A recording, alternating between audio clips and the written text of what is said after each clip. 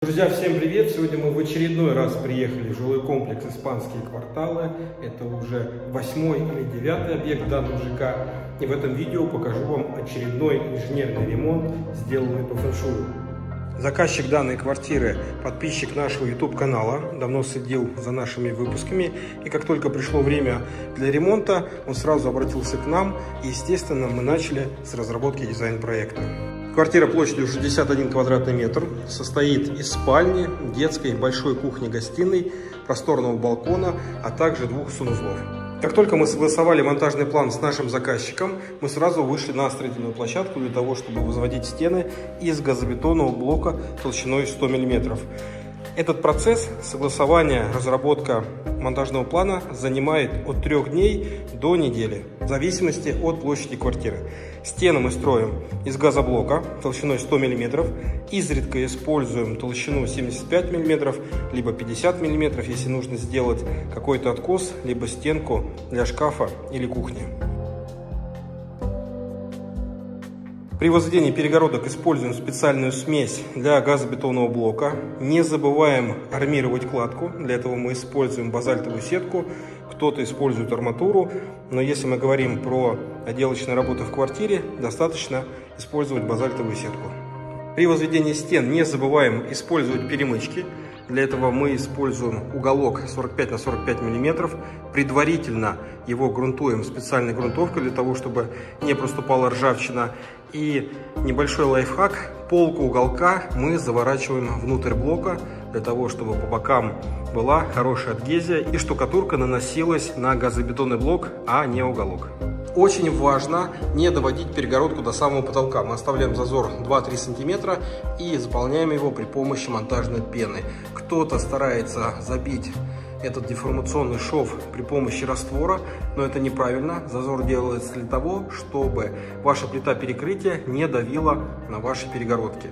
Сосед сверху скоро сделает ремонт, и плита перекрытия будет нагружена больше, чем сейчас она есть, и возможны небольшие деформации. И даже если плита просядет на миллиметр-два, то она будет сразу давить на вашу перегородку и возможно появление трещин. Поэтому обязательно делайте зазор мы делаем 2-3 сантиметра, после чего заполняем его при помощи обычной монтажной пены.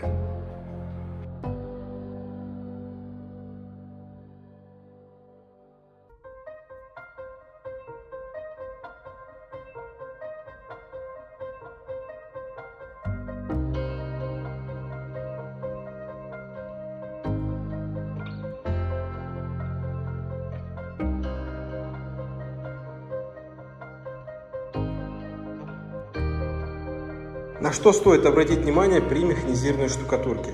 Естественно, должны быть ровные плоскости, максимально выведены в идеалочку. Если у вас ровные стены, то последующий ремонт у вас пройдет без проблем. Не забываем про углы 90 градусов, а также параллельно стен. Если мы хотим, чтобы наше чистовое покрытие лежало на отлично, то стены в некоторых местах должны быть параллельные. Механизированная штукатурка занимает 3 дня на такую площадь.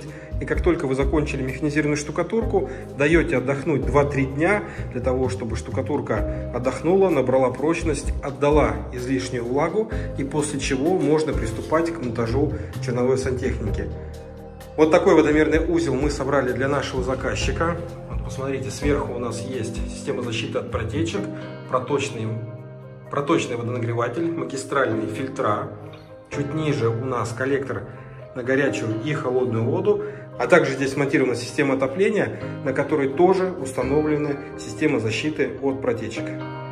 Вы можете видеть зеленый кабель, он будет подключен к датчику, который реагирует на воду. Если будет какая-то протечка в системе отопления, он среагирует и даст сигнал на перекрытие системы отопления в квартире. Очень удобная штука, это позволит максимально обезопасить вашу квартиру. После того, как мы смонтировали черновую сантехнику, мы ее прессовываем. Ставим всю систему под давление, это 10 атмосфер, и оставляем на сутки. После успешных испытаний мы сразу приступаем к устройству полусухой стяжки. На что стоит обратить внимание? Обязательно делаем демпферную ленту по периметру всех помещений. Не забываем делать демпферные швы. Вот такие вот они получаются прямые. А если у нас есть угол в помещении, то вот то вот такой компенсационный шов мы делаем местах углов. И самое важное при устройстве полусухой стяжки. После того, как вы ее сделали, в течение 5-6 дней ее необходимо проливать водой. То есть она у вас закрыта под пленкой. Приходите, открываете пленку, поднимаете ее и проливаете обильно водой. И сразу закрываете пленкой обратно. И так в течение 5-6 дней вы повторяете этот алгоритм. Это делается для того, чтобы стяжка максимально набрала прочность. То есть при наборе прочности цементно-содержащих растворов выделяется тепло, испаряется вода, и нам нужно скомпенсировать потерю этой воды путем проливания стяжки. Можно из шланга, можно из ведра, как вам удобно, но это необходимо делать. Полусухая стяжка выполняется за один день. Даем ей отдохнуть 2-3 дня и сразу приступаем к монтажу черновой электрики. Электрику мы делаем по потолку Серый ПВХ гофре. Гофру используем ДКС. Клипсы аналогичного производителя, чтобы гофра не вылетала. Кабель используем ВВГ НГЛС производителя Конкорд. Именно ГОСТовский. На розетке у нас идет кабель 3 на 2,5. На освещение у нас идет кабель 3 на 1,5. Почему мы делаем электрику по потолку, а не по полу? Не во всех ЖК толщина стяжки позволяет сделать и отопление, и электрику по полу. Нам приходится разводить инженерные коммуникации. Электрика у нас по потолку, а отопление и вода у нас идет по полу. Собрали мы вот такие два щита, слаботочный и силовой. Все потребители подписаны. И достаточно просто во всем этом разобраться. И как только монтаж черновой электрики закончен, мы вешаем самые дешевые розетки и выключатели и проверяем работоспособность всей электрической цепи в квартире. Если будут выявлены какие-то ошибки, то на этом этапе можно легко все устранить, а также к нам приходит заказчик на объект и смотрит, как у него организована система включения и выключения света. Можно будет сделать какие-либо корректировки, это будет быстро и легко.